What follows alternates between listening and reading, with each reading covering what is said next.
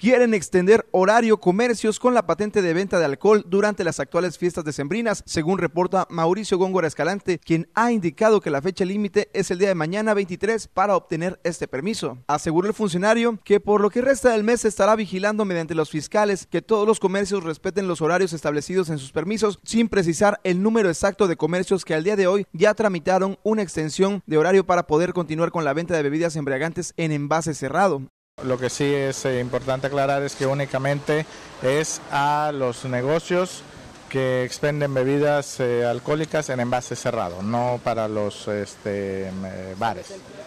Es únicamente para cerveza en envase cerrado. Sin embargo, Mauricio Góngora puntualizó que los establecimientos que obtuvieron una ampliación de horario deben respetar el cierre señalado por las autoridades, ya que de no ser así, se harán acreedores a una sanción fuerte por parte de la comuna e incluso por la recaudadora de rentas de Hacienda Estatal, por lo que exhortó a todos los licoreros y demás comercios con patente de venta de alcohol a cumplir con lo establecido.